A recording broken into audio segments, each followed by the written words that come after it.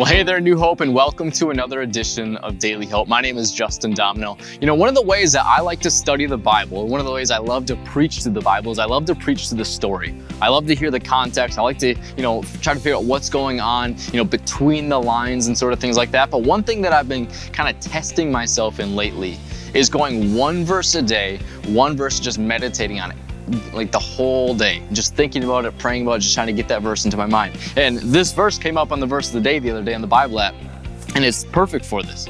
Psalm chapter 119, verse 11 says, I have hidden your word, the Bible, I've hidden your word in my heart that I might not sin against you. And I love this verse because what is the goal of a Christian on a daily basis? It's to get the Word of God into our minds and into our hearts and to meditate on it, whether it's a whole story or just one verse.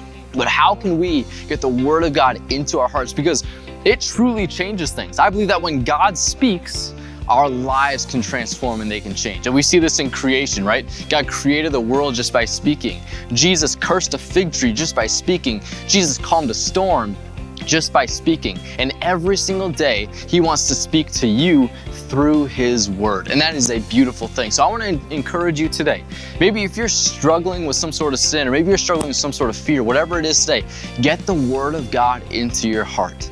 Because what it says is that I've hidden your word in my heart I might not sin against you. What is our greatest weapon against the enemy? What's the greatest weapon against ourselves and our own sin? It's the Word of God.